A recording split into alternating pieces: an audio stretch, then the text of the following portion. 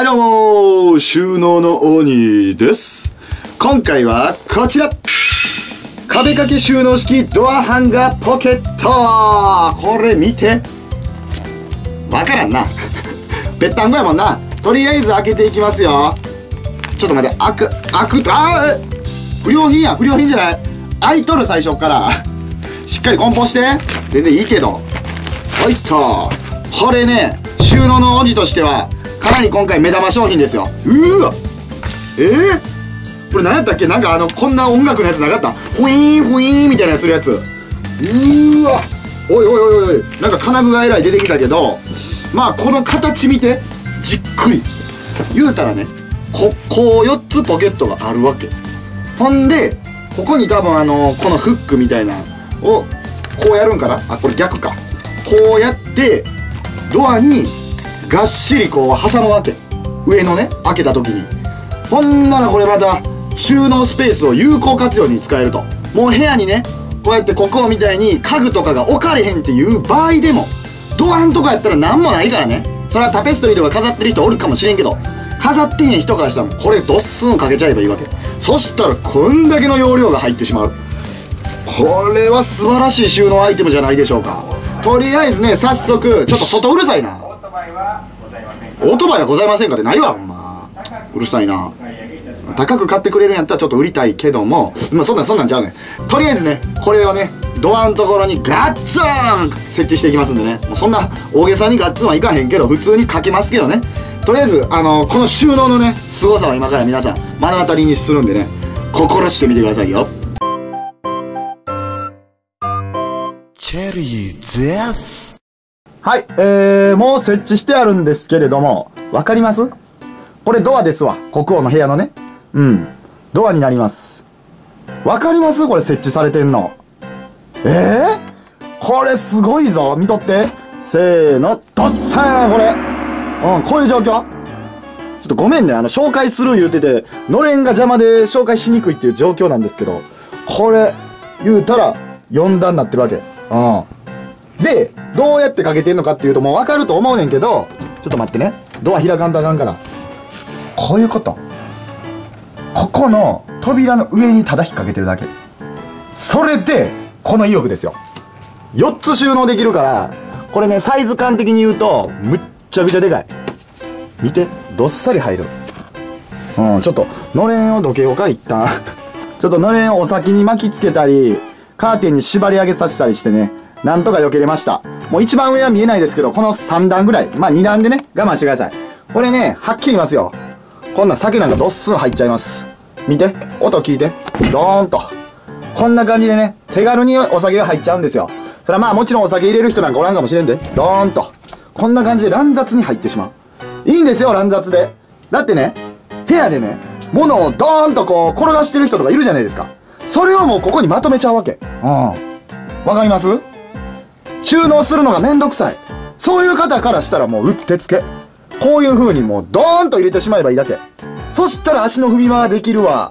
えー、部屋は綺麗になるわで。一石二鳥というかもう三石四鳥ぐらいの状態になってるうん。わかる？結構厳しめに行くよ、今回。本気なんでね、こっちも。結構厳しめに行くよ、今回。本気なんでね、こっちも。もうちょっとね、どんな感じのものが入るんかっていうチェックしときましょう。まずこれ。これ、大きいケースよ。入るんかと。余裕で入るけど、重たさには耐えられへんわ、これさすがに。横向きは入んのか？入ったわ。入った。だからこれでもいいわけ、結局。このサイズで入っちゃうんですよね。うん。あと、雑誌とか、こんな、部屋のその辺にボーンと、乱雑に置いてる方、たくさんいると思います。これね、入っちゃいます。でもこれやったらこうなるわけね。うん。さっき学んだよ。横向きにドスッと入れるよ。ほら入った。こんな感じですよね。それはちょっとね、ポコンとはなるよ。うん。なるけど、関係あらへん、こんな。入ったらええねん。わかる？入ったらええって話。もともと、その辺に置かれてるもんが、ここに収納されるだけでもほんまに部屋からしたらもう、お喜びよ。まあ部屋は喜ばんけど、まああのー収納嫌いの人からしたら、これは楽に収納ができる。引き出しとかでね、綺麗に小分けしてる人とか、出て中にはいますよ。几帳面な人がね。国王も割と几帳面なんで、ケースとか使って分別しますよ。これはクリアファイルを入れるなんかケースとか、ラバスト入れるケースとか。結構やっちゃいますけど、そんなんせんでええよな。実際のところ。自己満足あれは。うん。あれただの性格やから。性格の問題。もうほんまにこんなんトーンと入れ入れればいいわけ。わかる？みんな真似して。こういう感じ、もう投げていいよ。こんな感じでバスケットしてもいいんやから。今ちょっと携帯やったからちょっと怖かったけどな。入って安心したけども。これまあほんまに、もうこんな感じでバスケットすればいいわけ。入ったわよかった、ほんま。危ない。あんまこんなんしたらあかんけどな。ちょっとなんかしとこうかなっていう、こうミスが起きひんかなっていう。いつもね、ここ動画でミスが起きるんですけど、今日起きひんくで焦ってる状況。うん。まあまあ、今のね、バスケットっていう感覚でもいいわけ。ほんまに。まあだからもう、ここの一段を全部ラバスト入れたり、えー、まあ、アクキーラバストで分けてとか、缶バッジをこう、ね、無造作に入れるとか、そんなんでもいいよ。うん、結局。ちゃんと自分の何が入ってるかっていうのさえ把握してれば全然 OK なわけ。収納の方法はね、おのおのなんか色々ありますから、スタイルが。国王的にはね、それはなんかきっちり分けてほしいですよ。ここにもなんかケース使うとかして、きっちり分けてほしいけども、そこは厳しくいかん。うん。そこはおのやり方がありますから、性格とかね。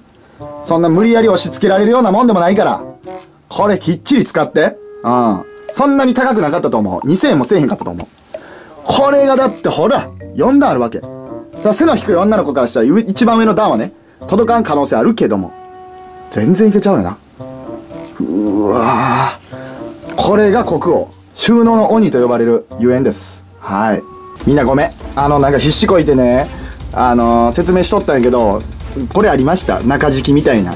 いつもね、ここ動画でミスが起きるんですけど、今日起きひんくで焦ってる状況。うん。なんかたるんたるんやなと思ってたんよ。これを入れたら結構しっかり、これまだ入れてへんけど、下ね、入ってんのよ、これ。中敷きみたいなんね。結構いい感じの形になりよった。さっきまでなんかタルーンってなっとったのに、固形になってくれた、しっかり。みんなあのー、入ってるものは確認してからやってください。僕はあんまり確認せずやるんで、かなりミスが多いと思いますけど、今回ギリギリ気づいた。撮影終わってね、ゴミ捨てようと思ったら、な、なんか、中敷きがポロンと転がっとったっていう状況なんですけど、皆さんはしっかり見てから説明書もちゃんと読んでやってください。はい。はい、いかがでしたでしょうか？なかなかこれいいんじゃない？実際？だってこの小スペース、言うたら、のれんなんかしちゃえば、隠れるわけ。あの、カーテン魂で売ってますから。しっかり買って。正直ね、これがね、剥き出しやったら、ちょっとダサいかもしれん。剥き出しの方がね、まあ出し入れしやすいけど、国王的には、部屋の中を全てアニメにしひんと気が済まへんタイプなんで、やっぱりこうやってカモフラージュする？隠していく？そういうことやんな。あの、国王もね、部屋のコンサルタントみたいにしてるんですよ。アニメ部屋コンサルタントみたいな。